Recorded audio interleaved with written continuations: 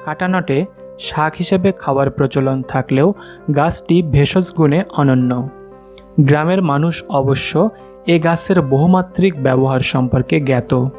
এ গাছের পাতা, মূল সব অংশই বিভিন্ন ঔষধ তৈরির কাজে লাগে।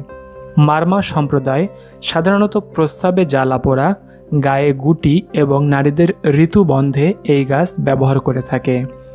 প্রস্রাবের জ্বালা পোড়া সারাতে গোড়াসহ গাছটির শিকড় মাটি থেকে তুলে ভালো করে পরিষ্কার জলে ধুয়ে, চাল ধোয়া পানিতে এক থেকে দেড় ঘণ্টা ভিজিয়ে চিনি এবং মিষ্টির সঙ্গে মিশিয়ে পিষে দুই থেকে তিনবার খেলে উপকার পাওয়া যায়।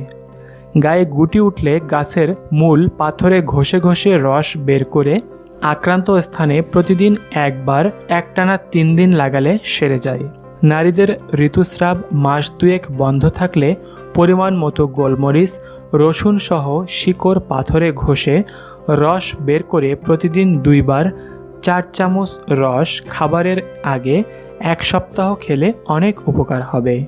এছাড়া গনোরিয়া, একজিমা, পেট ব্যথা, কোষ্ঠকাঠিন্য, ফোড়া, সাপের কামড় ও মাতৃদুগ্ধ স্বল্পতায় গাছটির শিকড় ও পাতা ব্যবহৃত হয়। কাটানটে দেশের সর্বত্র পতিত স্থান ও পথের ধারে জন্মে। বর্ষজীবী কাঁটাযুক্ত বিরুৎ এই গাছ এক মিটার পর্যন্ত উঁচু হতে দেখা যায়। কাণ্ড নরম এবং শাখাযুক্ত। পাতা ডিম্বাকৃতি বোটা লম্বা। প্রত্যেক ডালের আগায় মঞ্জুরি থাকে।